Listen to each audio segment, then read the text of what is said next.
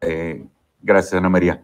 Secretario, eh, una pregunta. Yo tuve la oportunidad de conocer al entonces candidato a la presidencia de Colombia, Sergio Fajardo, y él tuvo un proyecto en, muy interesante que se llamaron este, los proyectos unificados de infraestructura en la ciudad de Medellín, cuando fue alcalde de 2004-2007. Eh, ¿Hay alguna inspiración en los trabajos que han hecho ustedes a lo largo y ancho del país en, ese proyecto en particular? Este, ¿Lo conoce, secretario? Sí, eh, podríamos decir que sí hay una cierta inspiración en, el modelo colombiano. Esa es una política regional, local, este, Antoquia o diferentes este, eh, regiones de Colombia. Esta es, digamos, una política federal, pero algo que creo que sí eh, se vincula o se toma en consideración en el programa de mejoramiento urbano es, de nuevo, la generación de un valor agregado eh, cuando el Estado interviene eh, físicamente, o sea, genera infraestructura, ya sean calles, este, ya sean plazas públicas, deportivos, escuelas, eh, centros de salud, todos estos elementos que generan una vida de barrio, que generan una vida de ciudad o te, dan un sentido de identidad al barrio, a la colonia donde vives.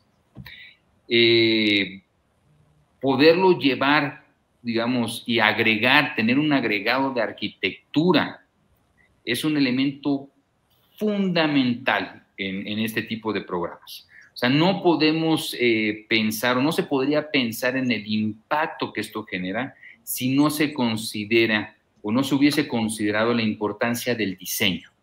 Y no es porque eh, pensemos que todos son arquitectos o todos deben ser arquitectos y urbanistas, gracias a Dios la mayoría no son, pero este, el sentido de la belleza o la, atracción hacia algo bello es algo natural para el ser humano. No tiene que haber uno estudiado alguna carrera en la materia o vinculado a las artes plásticas para sentir una atracción y una respuesta a lo bello. O sea, la belleza, un elemento tan eh, genérico, tan complejo de entender, cómo lo puedes aterrizar en una política pública. Y es ahí donde eh, uno de los valores agregados del programa podríamos decir que ha dado buenos resultados.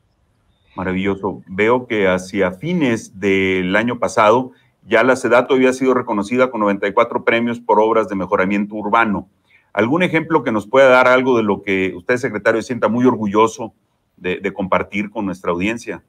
Pues eh, creo que algo, digo, indistintamente de los premios, porque a veces creo que eh, los premios son, digamos, una consecuencia de, otra, de algo más.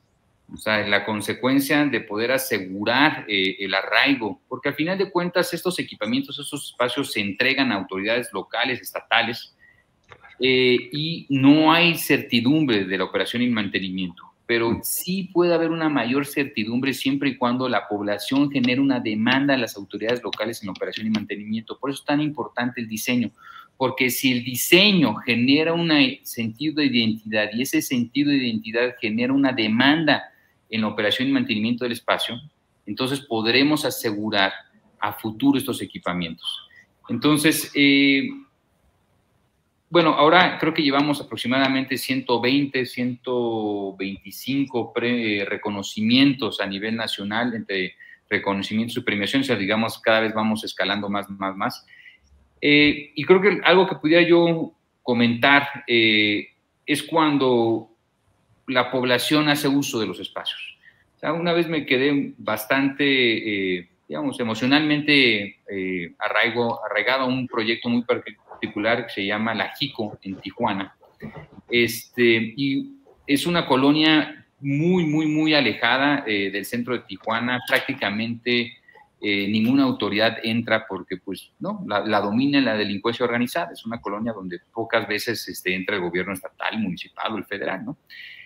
Eh, de las pocas veces que habíamos ido o que fuimos, yo recuerdo en las tres, cuatro ocasiones, particularmente al inicio, el uso del espacio eh, por muchos jóvenes, muchos niños. Algunos jóvenes se podía ver que ya tenían ciertos problemas, eh, ¿no? Este, personales, este, o ya estaban de alguna forma vinculados con alguna adicción, pero que estaban haciendo un intento de poder disfrutar ese espacio público. Creo que ese ha sido como los momentos más emotivos personalmente para mí, esa tarde-noche donde veía un par de jóvenes, muchos ya se veían prácticamente vinculados o enganchados al consumo eh, de drogas, pero que a pesar de las grandes dificultades personales que estaban viviendo esos jóvenes o sus niños, estaban disfrutando el espacio, se estaban apropiando de ese espacio público.